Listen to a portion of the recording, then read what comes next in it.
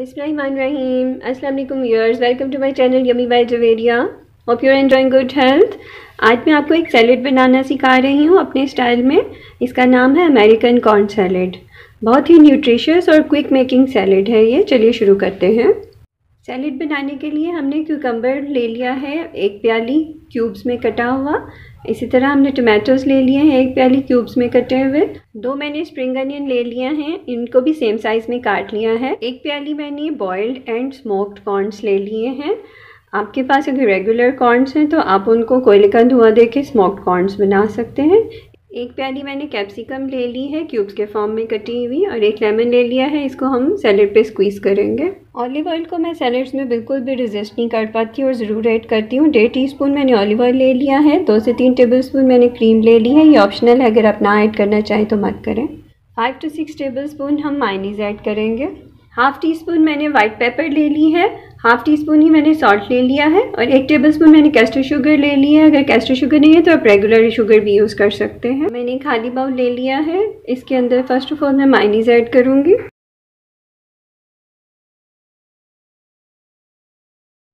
अब cream add करूँगी। अब हम इसमें वाइट पेपर नमक और कैस्टर शुगर ऐड करके मिक्स करेंगे।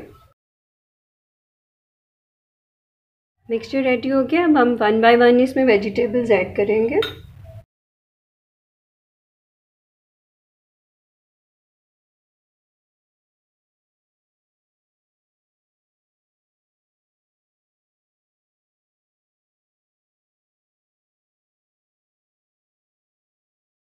लास्ट पे हम कॉर्नस ऐड करेंगे।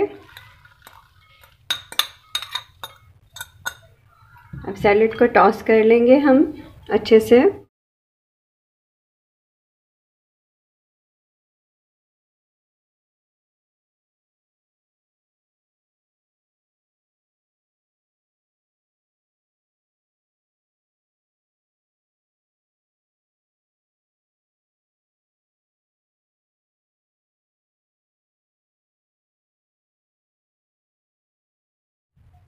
ऑलिव ऑयल ऐड करेंगे।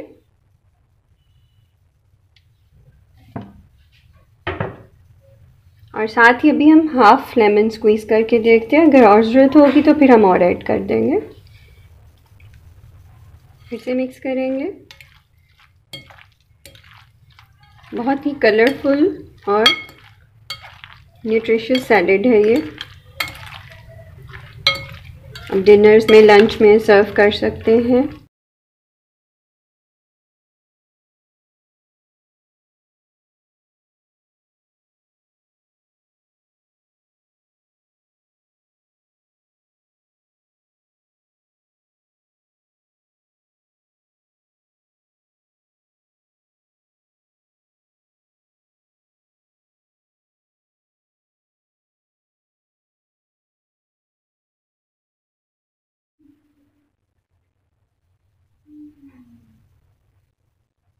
Tada finally American corn salad का प्लेटर आपके सामने है, इसको चिल करके सर्व कीजिएगा।